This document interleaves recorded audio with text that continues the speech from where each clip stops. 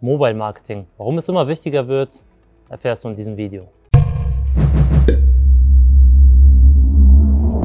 Mein Name ist Saad Chamu aus dem Marketing der A&M und ich möchte euch heute so ein bisschen was zum Thema Mobile Marketing erzählen. Was ist das überhaupt? Ähm, legen wir doch einfach mal direkt los. Letztendlich erklärt sich der Begriff so ein bisschen von selbst. Kommt aus dem Englischen und es geht halt darum, dass man gezielte Werbung extra für Handynutzer, wobei ich jetzt das Tablet auch noch dazu zählen würde, also Mobile, aber auch Tablet so ein bisschen, dass man direkt die Werbung dahin spielt. Ähm, es ist halt einfach Fakt heutzutage, dass kein Mensch mehr extra Facebook auf dem Rechner aufmacht. Ja, das machen immer noch manche, aber allein aus unseren Statistiken ist hervorzusehen, dass 95 Prozent der User das auf dem Handy nutzen.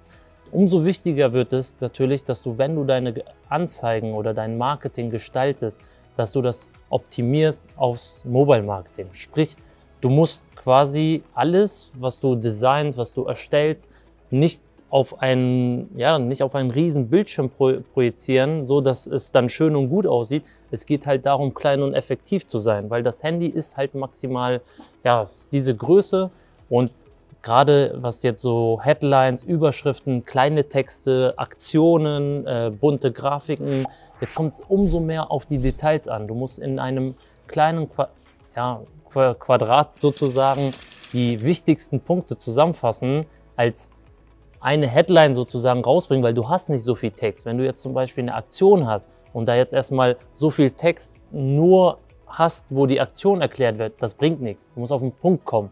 Genauso wie bei der Grafik.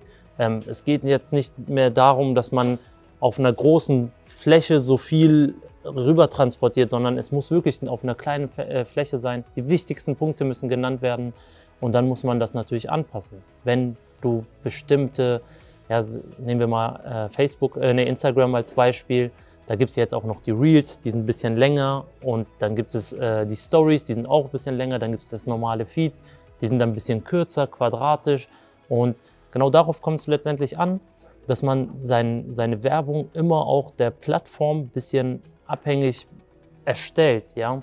Also bei uns persönlich gibt es ein Team, die machen bestimmte Facebook-Werbung, bestimmte Instagram-Werbung und da will ich auch gar nicht mehr ins Detail gehen, wenn du dabei Unterstützung brauchst, ja, wenn du, wenn das schon immer für dich Thema war, wie setze ich meine Werbung richtig? Wir helfen dir dabei und finden dabei auch noch natürlich passende Neukundenanfragen oder Mitarbeiter. Das erfährst du bei uns im kostenlosen Erstgespräch, wie das funktioniert. Trag dich gerne ein und bis zum nächsten Video.